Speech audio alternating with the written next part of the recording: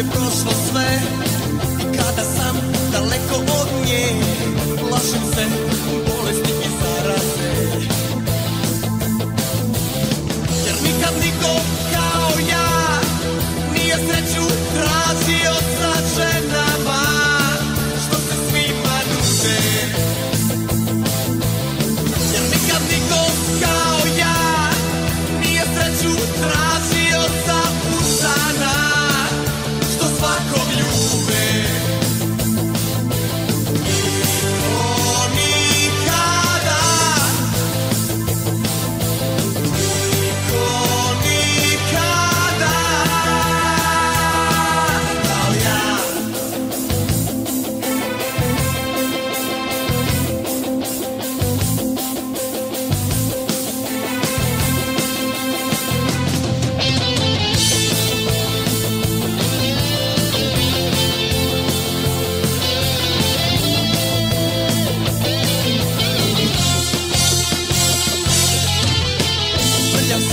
od dodira njenih velik usana moje tijelo na prevaru zaudara.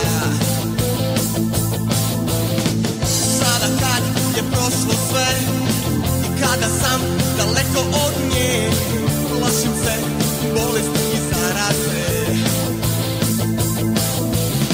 Jer nikad nikom kao ja nije sreću tražio